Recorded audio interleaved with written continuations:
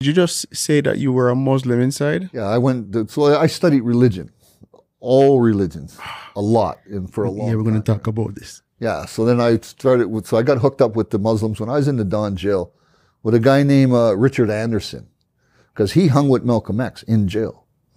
This is the era I'm talking about. So he, so he said, "Listen, man, you should become a Muslim, Nation of Islam, Elijah Muhammad stuff." And how old are you at this point? Just 16, just turned 17. Mm. Yeah. So I went into the, I went from the Don jail to the pen as a Muslim. Mm. So that's when I first, and you first, in those days when you first went in, they had a little red card and they, the guy typing up would say, where are you from? Toronto. What's your beef? Whatever, robbery, whatever you want to say. How much time you doing?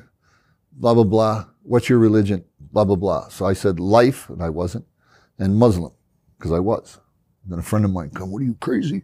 I see the card on your door. What are you, what are you nuts? You say you're a lifer, you're not a lifer. People just too stupid to get away with murder are lifers. We're hoods, man. We're so I had to get my card changed. But I got the first pork free diet and all that kind of stuff in Collins Bay and in Quebec. In Quebec, I had to go to the hole for a long time fighting because I pushed the cart of food over. And it was, uh, where's my diet? Ah, we don't care. Uh, we, this is a, this is a Catholic uh, society. Uh, fighting for Muslim rights. so, so off to the hole I go. So while I was in the hole, the warden come, he said, listen, you're a big tough guy and we got your reports from Ontario would you be satisfied with a, a Jewish diet? Nice. Yeah, that works. Yeah. So Yeah. That makes sense. Uh, you said uh, you spent a lot of time studying different religions. yeah, I went. Not only did I study them in jail, but I also went and did uh, correspondence courses in various universities, Queen's, Western University, outside of London. And there's a reason why. Okay. because I'm a criminal and I have a big ego. And I said to myself, if I become a master of religions, I can start a cult, be a cult leader, and have thousands of people following me. Mm, I like around, that. Flying around in jet planes. So I didn't play with it. I went and studied it. I studied Yes. cults. I studied it. And then at the end of it, it's like, ah, I don't think I want to rule people in that manner. You know what I mean?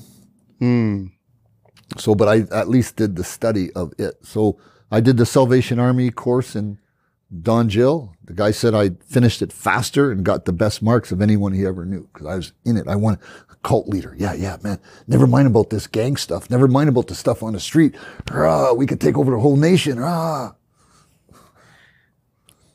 Hmm. I, I, I don't know. I, I kind of feel like you were you might have been onto something. You know that you, you maybe you should have gone down that path. that's it. I heard there's wealth down there. There is, but the thing is, it's really deceptive to play that game. And we know people in, that have been playing that game. We've seen them through history play that game.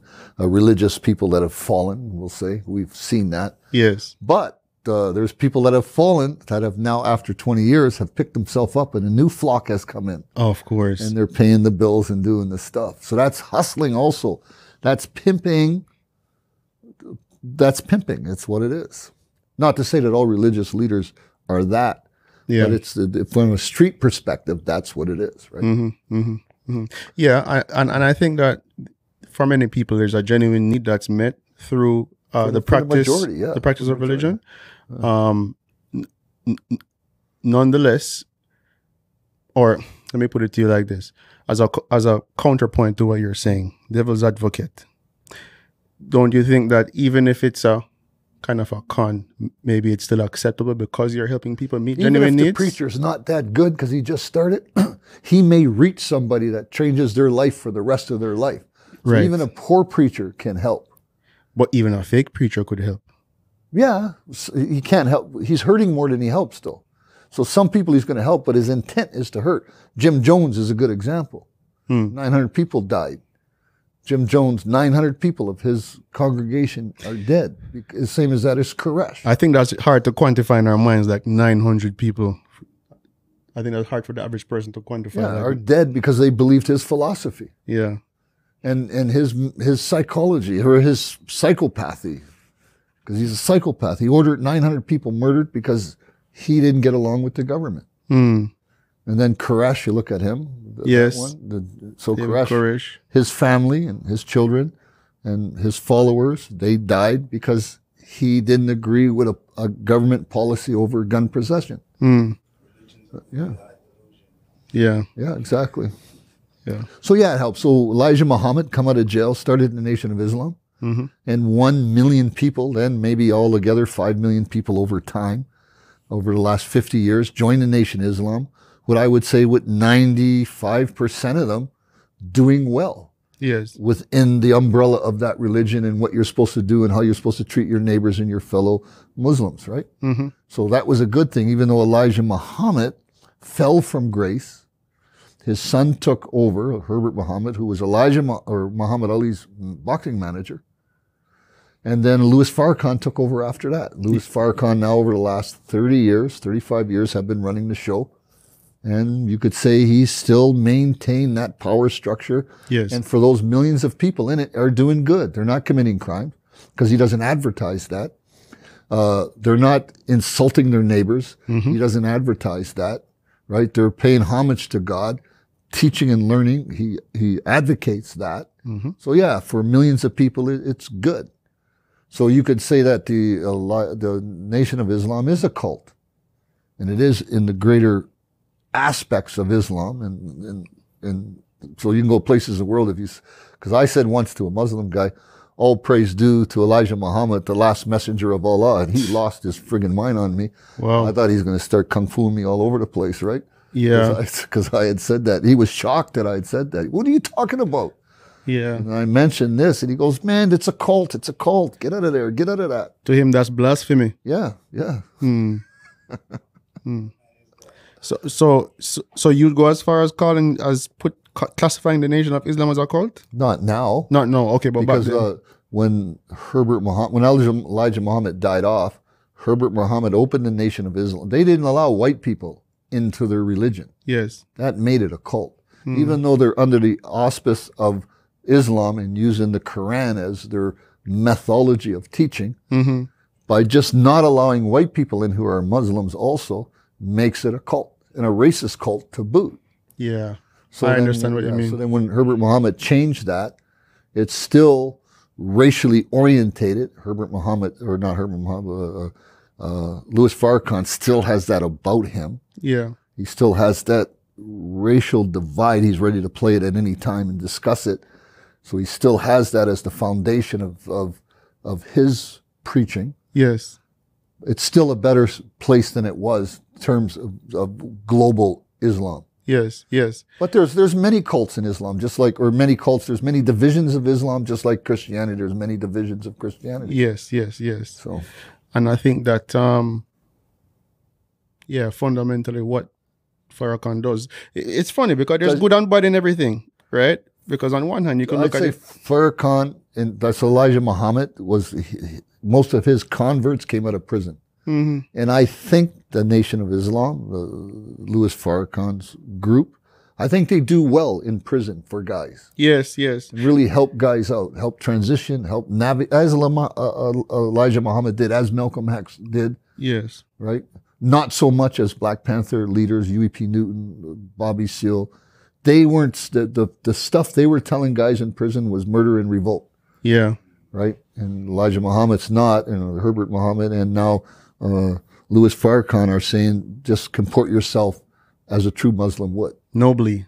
Exactly. Yeah. Do what you're supposed to do, and realize that you're not in charge, but they're not in charge of your religion either, Mm. because you have these rights, and we'll help you instill those rights. Yeah. Yeah. So. More about teaching you how to live peaceably, practically speaking. to live with a group. Buddhism is the same way. So the three jewels of Buddhism is what you're learning.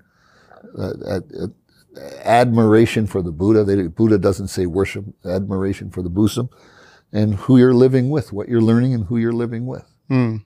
Right. So we, I was in an all black halfway house, the only one ever in Canada, Okay. and it lasted for nine months. And the guy, back to Rosie Douglas, the guy that negotiated the contract for the black halfway house, stole the money took off to Dominica, gave it to Rosie Douglas, which is a communist party, and Canada freaked out. The first experiment for helping brothers get out of jail for a black halfway house turned into giving this communist leader this money. That's a bad look. So they haven't had a black halfway house since. I bring it up all the time because I know it's it's the key to success in our black communities. Oh, It's 100% the key to success. you think that will make a difference? 100% it makes a difference. It works this way. So in the native community, they have this thing called Gladue, the law. So what Gladue was is took the power of the white man's court away and gave it back to the native community. It's called the Gladue project. So the native community had an input of what the judge was going to do, and it was over a guy that got sentenced to five years for a beanie breaking into a cottage. And the community thought that that was just too much. So they challenged the court system and they ended up sentencing him to two weeks on an island by himself with counseling and mentoring rather than do five years in a white man's jail. Mm-hmm.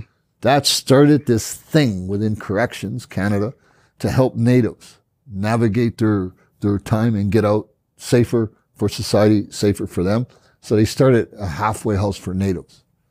And now they've got halfway houses right across the Canada for natives.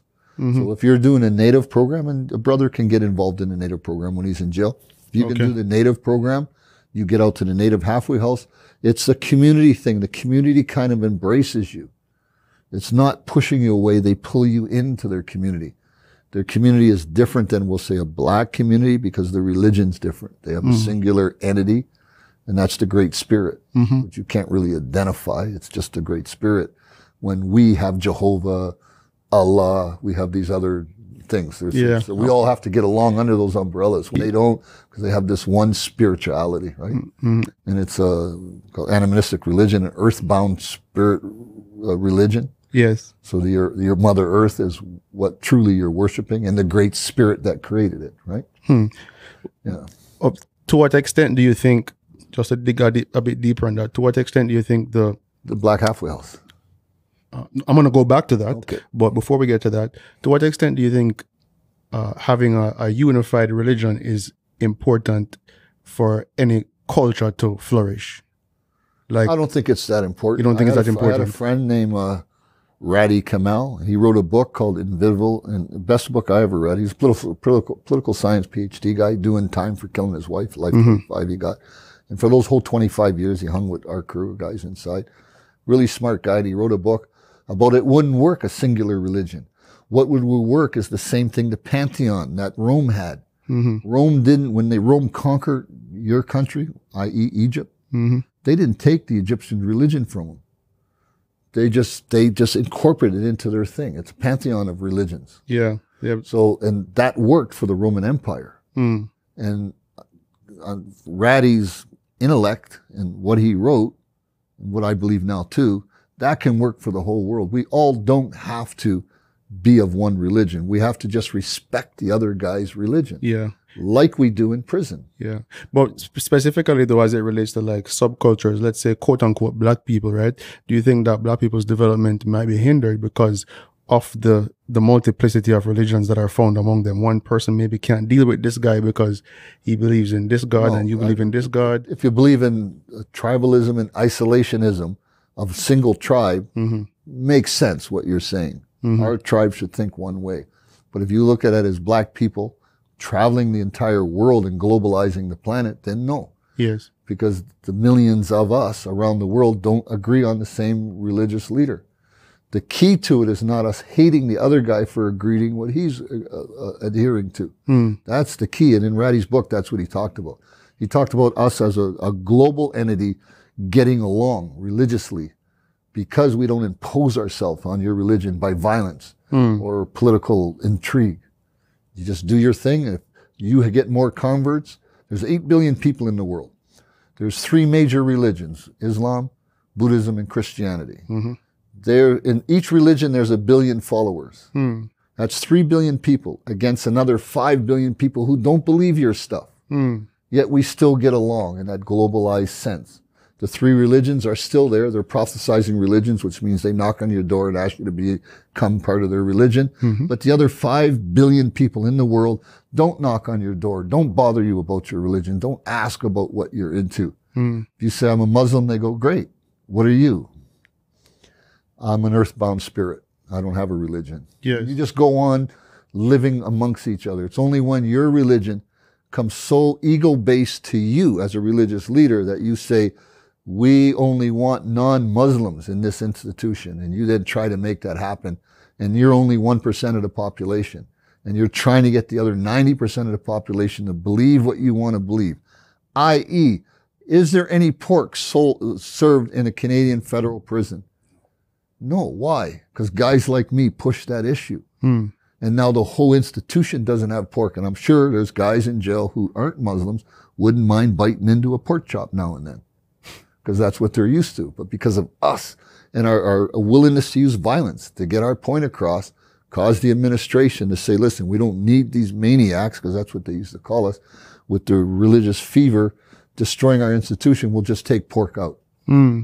Right. And pork now is not sold or not sold or not, is not served in Canadian federal prisons unless you have a trailer visit and you order your menu. You could order what you want for you, your wife, your kids to eat in there. So you can be in a, a, a institution, we'll say is 60% Muslim. There are none, but we'll say that if you had a trailer visit, you still can eat pork Right. because that's your right under the Canadian law, right? So Mm. yeah, yeah, I don't believe any religion should impose themselves upon another Mhm. for gain to their religion, but every religion, every prophesizing religion does that, Mm-hmm. Mm-hmm. right? So just the way the world, it's been going on for 2,000, 2,500 years now, 2,300 years now with the, uh, the, the temple, King David. temple. Yes. That's when it started. That's, so that's how far we go back to that. So